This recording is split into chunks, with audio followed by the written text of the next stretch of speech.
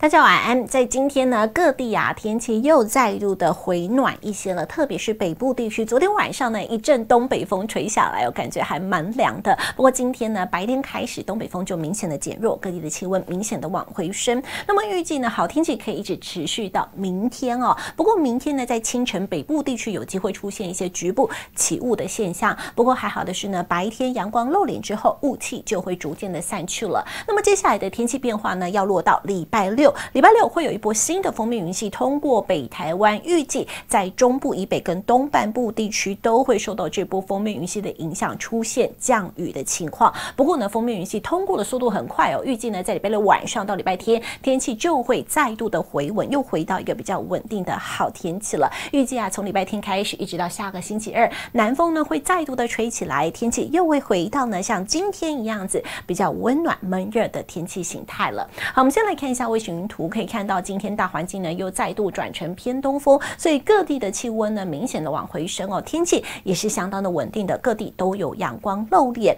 那么预计呢，这样子的好天气会持续到明天礼拜五，预计呢各地天气状况都不错。那么下一波天气系统变化呢，就是落在礼拜六了。可以看到呢，会有一波封面云系快速的通过北台湾，预计呢在中部以北跟东部地区又会再度出现降雨。不过很快的礼拜天又会回到好天气。我们进进一步来。看一下哦，预计呢，在明天礼拜五，就是受到呢东风绕过台湾地形之后呢，有这个背风涡旋，使得北部地区比较容易在清晨的时候出现起雾的状况哦。不过白天呢，雾气就会逐渐的散去了。那么接下来呢，要落到礼拜六哦，会有北方一波新的封面云系落过掠过呢这个北台湾，预计在中部以北、东北部地区都会出现阵雨。不过呢，在礼拜六晚上，天气就会再度的逐渐回稳。所以从接下来的降雨分布图就可以看。到喽，预计呢就是在礼拜六可以看到，在这个彰化以北跟东半部地区，还有在南部的山区都有机会出现降雨。局部地区呢还有机会出现比较大一点的雨势哦。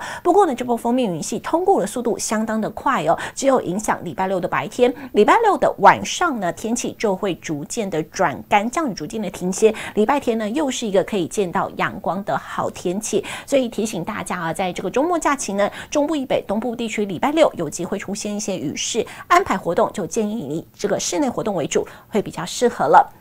接下来关心一下温度的变化哦。预计呢，接下来这一周北部地区大致上都是相当的温暖的。不过呢，在礼拜六就是封面云系通过的当天呢，因为啊这个云量偏多，有一些降雨，所以温度略微的往下降，高温降到二十三度，低温来到十七度左右，有一点偏凉哦。但是礼拜天呢，高温又可以回升到二十九度上下了。那么在中部地区一样的，在礼拜六呢，温度略微的往下降。不过整体来说呢，接下来这几天其实气温的部分都算是舒适，有一点偏。闷热的感觉，南部地区同样的也是哦。接下来这一周的气温呢，都可以维持在三十度的上下，有一点偏闷热了。